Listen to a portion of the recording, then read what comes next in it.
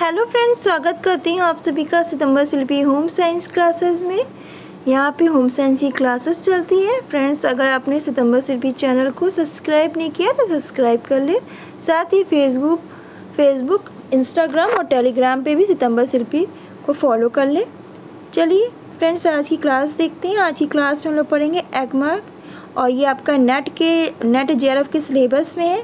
साथ ही ये आपके D triple S B T G T P G T L T R P C first grade सभी के लिए इम्पोर्टेंट है। सभी में क्वेश्चन आते हैं। एग मार्क का चिन्ह ऐसा होता है, देख लें। चलिए, आगे बढ़ते हैं। एग मार्क भारत सरकार के मार्केटिंग तथा निरीक्षण निदेशालय ने विभिन्न भोज पदार्थों की न्यूनतम गुणवत्ता को बनाए रखने के लिए एग मार्क मानक तैयार किया।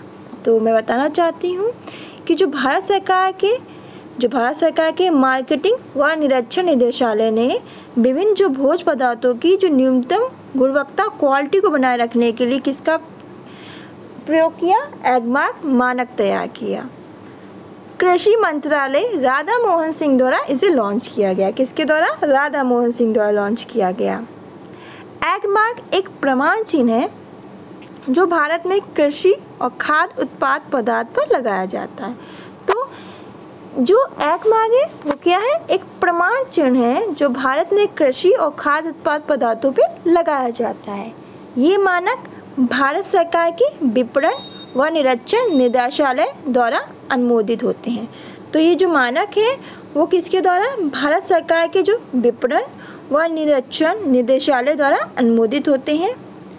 एग मार्क का उपयोग कृषि उत्पाद अधिनियम 1937 द्वारा लागू होता है। जो एग मार्क का जो यूज़ है, वो कृषि उत्पाद अधिनियम 1937 द्वारा लागू होता है। जो 1986 में संशोधित की गई थी। कब? जो 1986 में संशोधित की गई थी। वर्तमान एगमार्क मानक में, जो वर्तमान एगमार्क मानक में 205 भिन्न जिनसों की गुणवत्ता के दिशा निर्देश दिए गए हैं। तो वर्तमान एगमार्ग मानक में 205 विभिन्न जिनसों की गुणवत्ता के दिशा निर्देश दिए गए हैं, जिसमें आपकी दालें हैं, अन्न हैं, आवश्यक खाद्य तेल, फल हैं, सब्ज़ियाँ हैं व अर्ध प्रसंगत उत्पाद जैसे वर्मी शैली आदि हैं। तो वर्तमान एक मार्ग मानक में कितनी 205 भिन्न जिनसों के गुणवत्ता के दिशा निर्देश दिए गए हैं, जिसमें आपकी दालें हैं, अन्न, आवश्यक खाद, तेल, फल, सब्ज़ियाँ व अर्ध प्रसंगत उत्पाद जैसे वर्मी शैली आदि हैं। एगमार्क चिन्ह मुख्यतः भोज पदार्थ की भौतिक और रासायनिक विशेषताओं, जिसमें उपस्थित पौष्टिक तत्व की मात्रा आदि के आधार पर दिया जाता है। जो आपका एगमार्क चिन्ह है, वो मुख्यतः भोज पदार्थ की भौतिक व रासायनिक विशेषताओं उसमें उपस्थित पौष्टिक तत्वों की मात्रा आदि के आधार पर दिया जाता है। सभी कृषि उत्पादों को यह एग मार्क का चिन्ह दिया जाता है। जो जितने भी कृषि उत्पाद हैं, उनको क्या एग मार्क का चिन्ह दिया जाता है? जैसे खाद, तेल है, घी, मक्खन, अंडा, मसाले आदि में ये एग मार्क का चिन्ह देखने को मिलता है। एग मार्क चिन्ह का अर्थ तो एग मार्क चिन्ह का अर्थ होता है खाद्य वस्तु अपेक्षित गुणवत्ता की।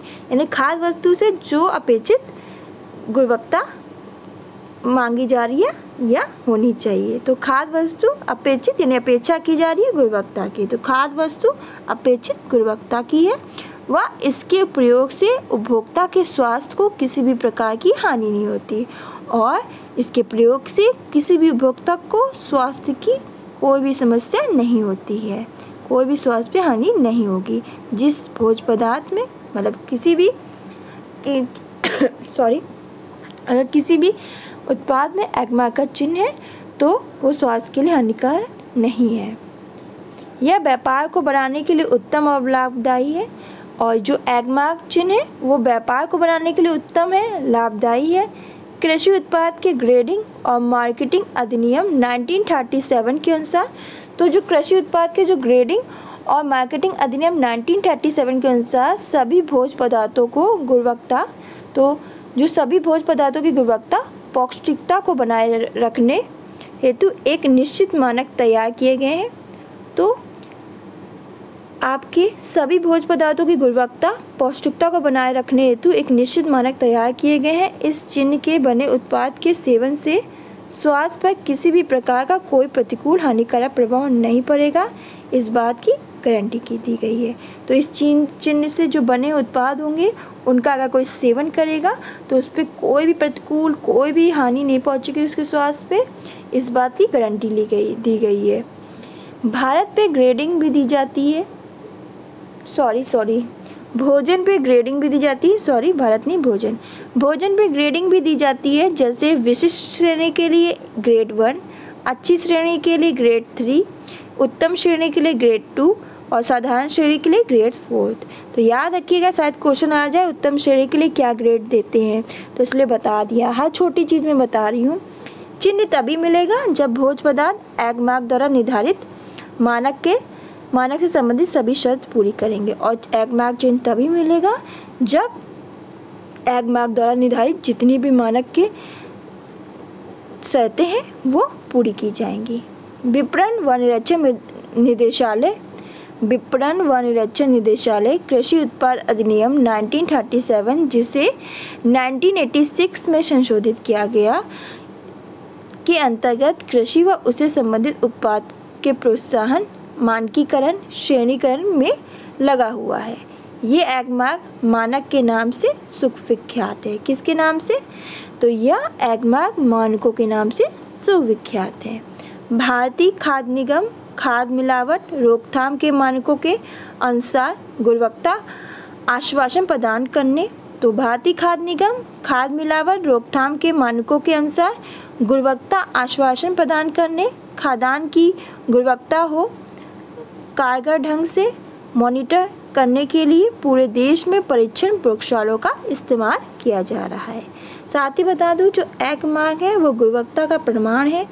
इस जिस, इस, कोई भी उत्पाद हो, अगर एग मार्क का चिन्ह है तो उससे किसी प्रकार की हानि नहीं पहुंचेगी। तो आज के लिए बस इतना ही। मिलते हैं नेक्स्ट वीडियो में। आपको मैं हर तरह की भरपूर जानकारी देती हूँ। हर एक टॉपिक से रिलेटेड अगर कोई क्वेश्चन आए तो आप आराम से कर लो। तो आज के लिए बस इतना ही। तब तक खुश रहिए, मुस्कुराते रहिए, अपना ध्यान रखिए। चैनल को सब्सक्राइब नहीं किया तो सब्सक्राइब कर ले। जिसको से आपको मेरी क्लास की नोटिफिकेशन मिल जाए करेगी। तब तक बाय बाय